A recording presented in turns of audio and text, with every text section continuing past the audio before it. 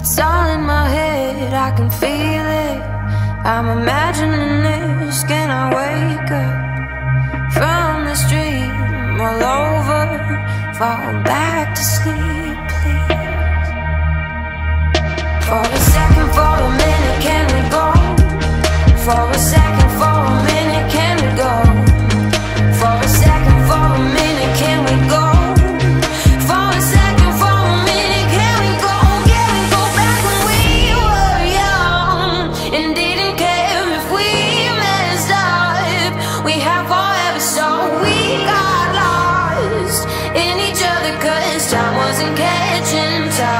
occasion. when we were young.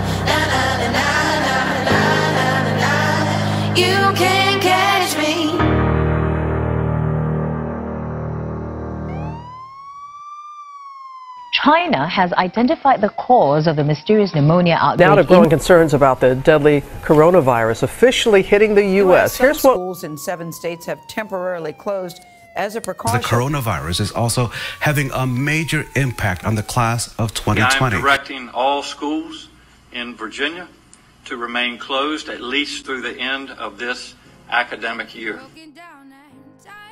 To the graduating class of 2020, we've endured it all from joy to loss and everything in between, including a pandemic. And while it's times like these we feel small and unable to better ourselves and our situations, it is times like these that give us ample time to focus on our future. But before we blink and we are full grown with the family and years of career experience under our belt, let's cherish the past four years we were lucky enough to share together at Woodbridge Senior High School.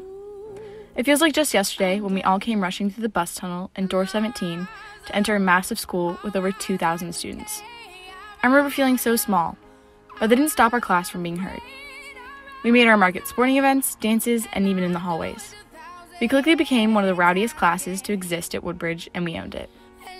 As a class, we made our voices heard, whether it be at football games and plays or even in the cafeteria.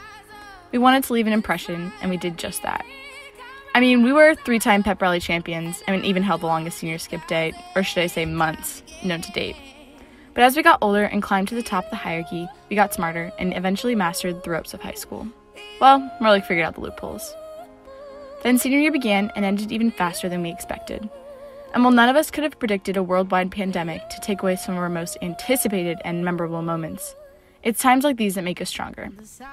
None of us could have imagined the worldwide protests that demanded justice for the murder of so many innocent black lives. None of us could have imagined so much to happen in the first six months of this new decade. But it only seems fitting for the class of 2020, who from the beginning had always sparked change and spoken out when outraged.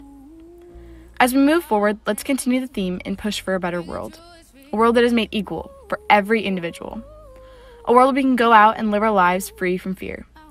A world that isn't ready for what's to come next, but a class that is beyond ready to make their mark. As we prepare to graduate in one of the most unconventional ways, remember that we always have each other's back. Be reminded of your joyous accomplishments, little or big. Be reminded of all the laughter and smiles. Be reminded of the good and the bad.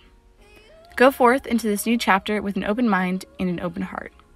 Be better and push yourself to make an even greater mark. Congratulations to us, the class of 2020. May our futures be even brighter and full of positive change.